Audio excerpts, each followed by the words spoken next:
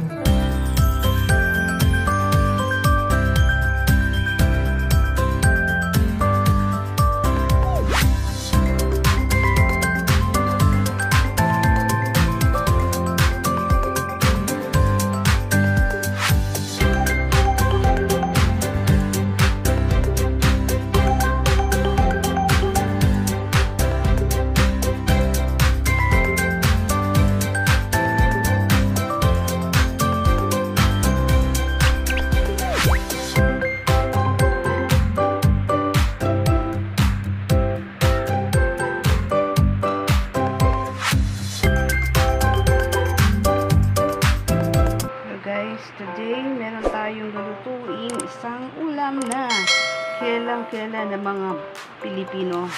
Ayan. Ito ang ating munggo ingredients. Meron tayong kamatis. Siyempre, meron tayong malunggay na hinarvest kanina. Meron din tayong maliliit na hipon.